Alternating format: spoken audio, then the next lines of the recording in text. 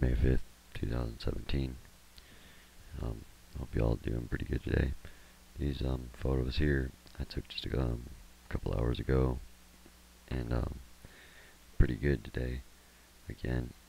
And I want to kind of just go over briefly about the LED lighting liner that I'm talking about.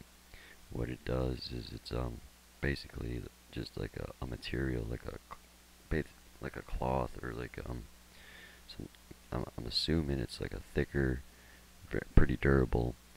And uh, what they're doing, they're taking this uh, LED lighting uh, material and they're making blimps out of it. And that's like the blue orbs you see that people think some are like planets and stuff like that.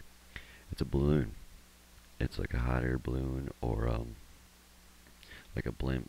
You know, they got these new high tech high tech blimps out and uh, you can find them on YouTube and stuff like that.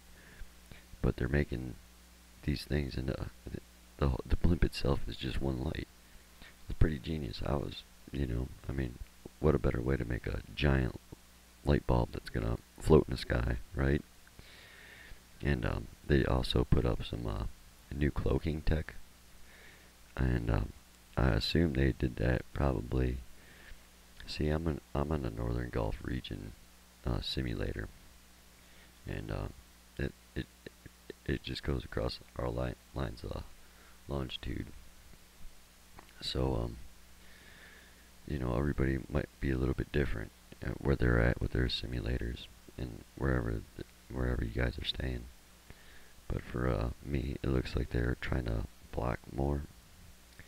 And uh, I know they got my number now, and uh, so maybe they're taking more, you know, trying to cover their tracks a little bit better. You know, these these clowns are trying to hide. You know, they don't.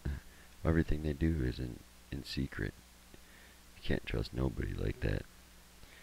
And anybody that exposes them, you know, they don't like that neither. So um, I'm gonna continue to take out the photos. I'm um, already starting to look for a new spot because um, I really like the spot that I've been at. This is this was actually my secondary spot.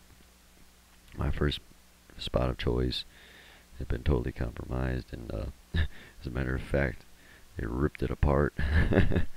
the boat dock where, or the boat launch where I was taking the photos, it just scooped it all out.